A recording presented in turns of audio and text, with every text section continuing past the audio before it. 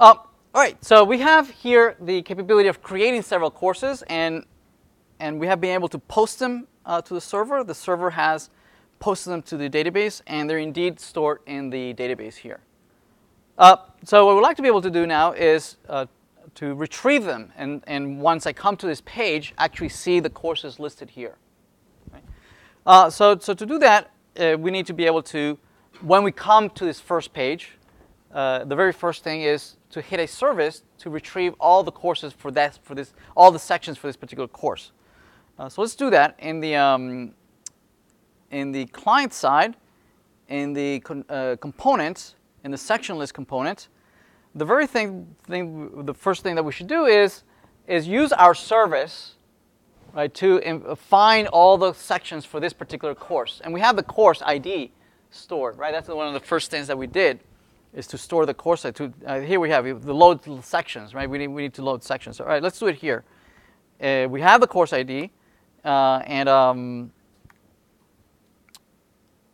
uh, and what we're going to do is that uh, we're going to uh, use the service. It'll be something like this dot service. It'll be something like you know find all sections or find sections.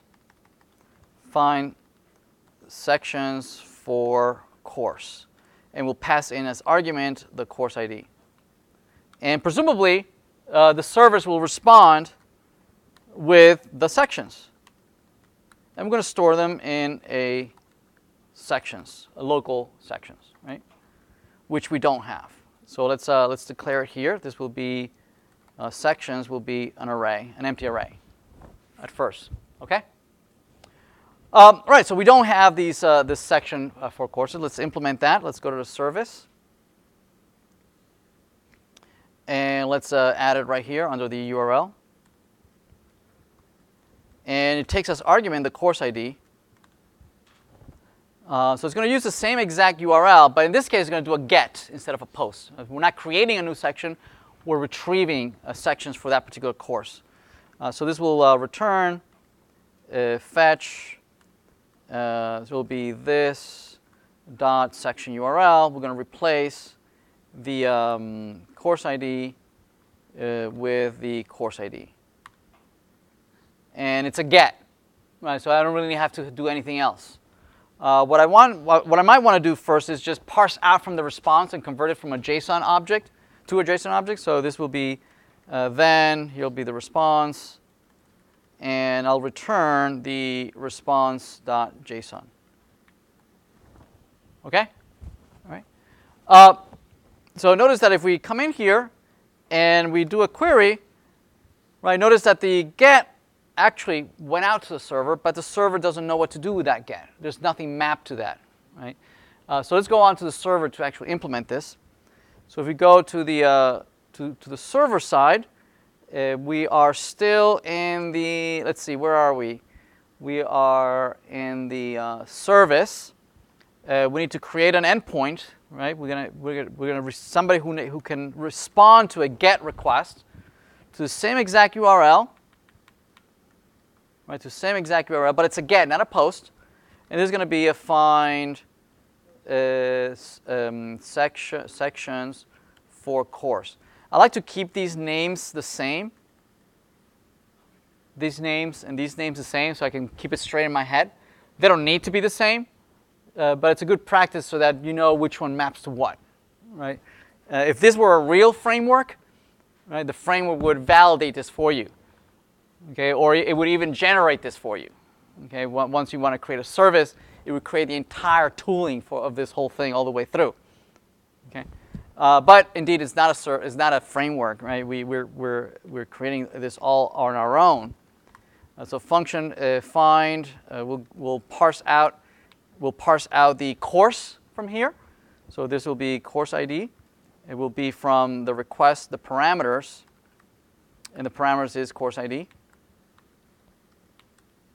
Uh, and we would use section model to actually find sections for a course, which doesn't exist. Right, we're going to pass in course ID. And presumably, this is going to come back with the sections.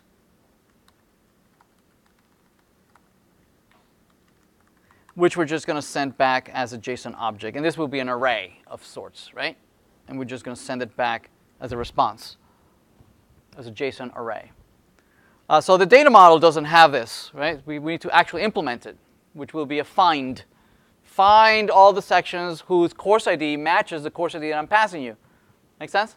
In this case, we only have sections for that one course. Uh, so let's, uh, uh let's, uh, let's implement that. Let's go to the section model. Uh, and let's implement a function find sections for course. So it takes as in as argument a course ID.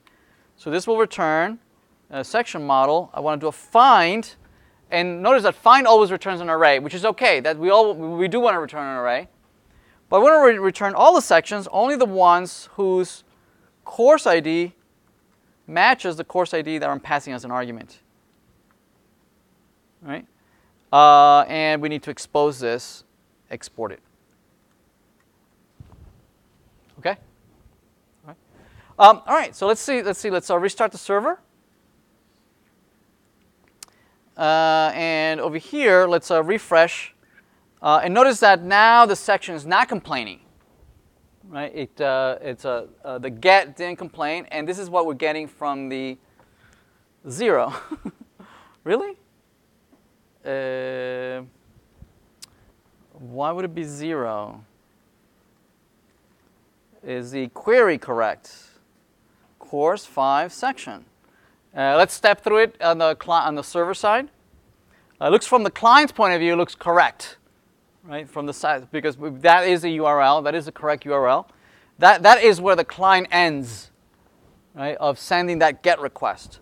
Uh, let's, uh, let's, let's go up back to the server and uh, let's uh, let's this this is as this is as deep as the server goes, right? This is where the server ends, right? You know, going out to the database. Uh, so let's let's verify that we're getting here like, the course ID correct course ID. Um, and uh, I forget. Did I start it in debug mode? I forget. I think so. All right, so we're there, and course ID is undefined. Okay, so all right, so certainly this is wrong. Uh, let's uh, uh, this it must be up you know up higher uh, and upstream right it must be in, somewhere in the service so let's go back to the service let's go this let's let's let this through. Uh, so let's go back to the service. So somewhere we we parsed out something wrong. Uh, so here's the app. So we're getting here. Oops. I didn't mean to do that. I'm gonna hit it again. Refresh. Okay so we're in the service. And uh, let's step through this once. And course ID is undefined. Okay. Course ID. So that's spelled right. Course ID. That's spelled right. Find sections for course. Param. Oh, maybe this is params. Restart. Try it again. Uh, step one through. Okay, now it's five, right? So that looks right. Uh, and, uh, and this comes back uh, from, to the client as the array of three sections, right? And, um, and, and this was just a learning opportunity that I, I exploited. Uh, so now that I have the array on the client side, I just need to render it somehow, right? And, uh, and that's, that's easy. Uh, we, can, um, we can back to the section list component. Uh, we already have, we already, we already bound this on the, on the sections array over here. Uh, so we just need to iterate over it in our HTML. In our HTML, at the bottom here, we could, we could have a, a, a list right, that uh, is of type um, uh, lists group. And we can use a template to iterate over this, right? We can say uh, class uh, list group item. And here we can display the, um, uh, the course, I mean the section, right, section uh, name and, uh, and this will be the ng repeat or the ngFor uh, of iterating over all the sections of the sections array. All right, so there they are, right? So there are four, three sections that we had created earlier, uh, plus perhaps the number of seats uh, we could display here as well.